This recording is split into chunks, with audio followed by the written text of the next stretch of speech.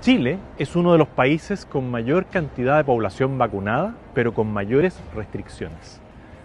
No hay casi ningún país en el mundo que tenga esta condición y que haya prolongado por tanto tiempo las libertades de las personas. Ha llegado la hora de terminar con esta verdadera dictadura sanitaria que ha matado los emprendimientos, que ha hecho cerrar negocios, que ha impedido el aprendizaje, que ha impedido que expresemos libremente nuestra fe, ha llegado la hora de ponerle término a esta dictadura sanitaria. Solo el 0,2% de los chilenos está contagiado por COVID.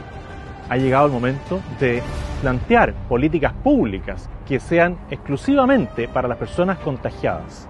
No es aceptable que la autoridad diga que se puede ir a votar o que el presidente de la República diga que va a viajar al extranjero y después vuelva como si nada y 19 millones de chilenos están encerrados en sus casas.